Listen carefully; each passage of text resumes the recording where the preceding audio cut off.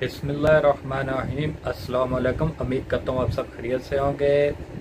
جو میرے بہن بھائی مصیبت اور پریشانی میں اللہ ان کی پریشانیاں اور مصیبتیں دور کرے، آمین۔ وہ حبیب، آپ دیکھ رہے ہیں YouTube channel Habib vlog one. آج کا ولاگ شروع کرتے ہیں۔ آج کوکنگ کرنی ہے میں نے۔ کوکنگ ہے میری بوائل انڈے اور آلو۔ تو آپ کے ساتھ شیئر کرتا ہوں آج میں اپنی کوکنگ۔ چلیں اب چلتے ہیں ویڈیو کی طرف۔ ویڈیو اینڈ تک دیکھیے گا۔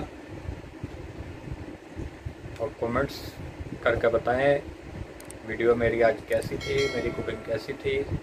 اور ویڈیو کو لائک بھی کریں۔ اور جو میرے چینل پر نئے ہیں پلیز ان سے ریکویسٹ ہے میرے چینل کو سبسکرائب کریں۔ چلیں، چلتے ہیں ابھی ویڈیو کی طرف۔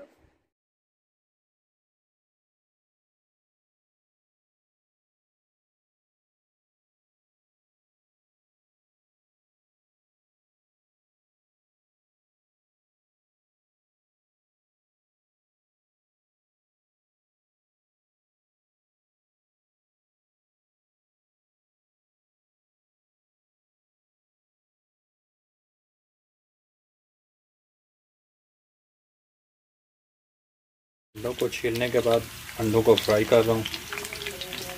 سالن بنانے سے پہلے ان کو فرائی کر لیں گے۔ فرائی کرنے سے یہ ہوتا ہے ان کا ٹیسٹ تھوڑا سا اچھا آ جاتا ہے۔ اس لیے پہلے انڈے میں فرائی کر رہا ہوں۔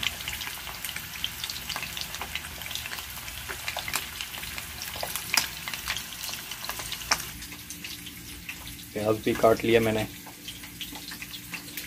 انڈے فرائی ہو جائیں گے اس کے بعد۔ پتیلے کو اوپر رکھوں گا اور اس کے بعد پیاز ڈال کر اسے بھی فرائی کرنا ہے۔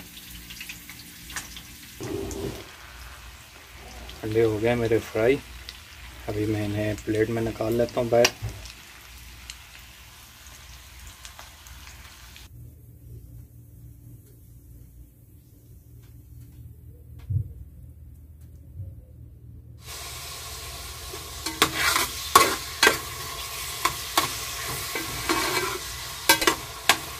پیاز کو لائٹ براؤن کر رہا ہوں میں۔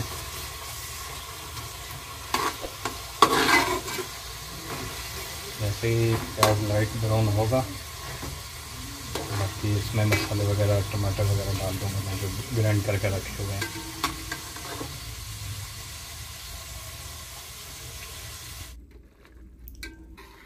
مسالہ ٹھیک سے بھن گئے۔ ابھی اس میں میں آلو ڈالنے لگا ہوں۔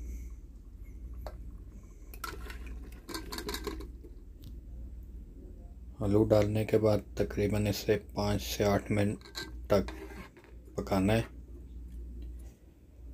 تو انشاءاللہ آلو گل جائیں گے تو اس کے بعد اس میں انڈے ایڈ کر دینے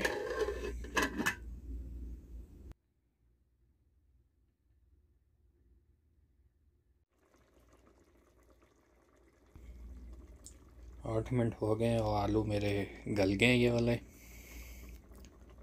تو ابھی اس میں ہم انڈے ایڈ کریں گے۔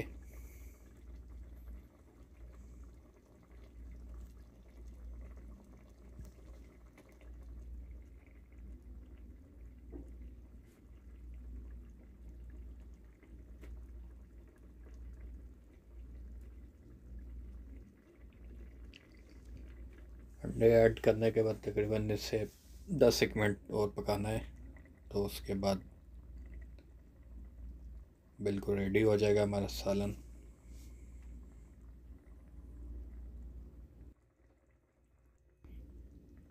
اگر میری ویڈیو اچھی لگے تو اس کو لائک کیا کریں اور کومنٹس کر کے بتایا کیا کریں بھائی میری ویڈیو کیسی بنی تھی۔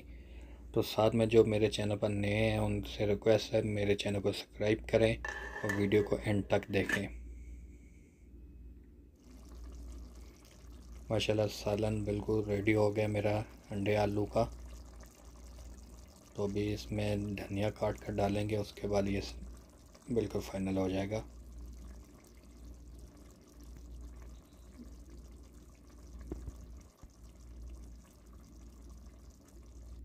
دھنیا بھی ڈال دیا میں نے۔ ابھی آپ سے چاہتا ہوں میں اجازت۔ نیکسٹ ویڈیو میں انشاءاللہ پھر حاضر ہوں گے۔ اپنی دعا میں یاد رکھیں مجھے۔ اللہ حافظ پاکستان زندہ باد۔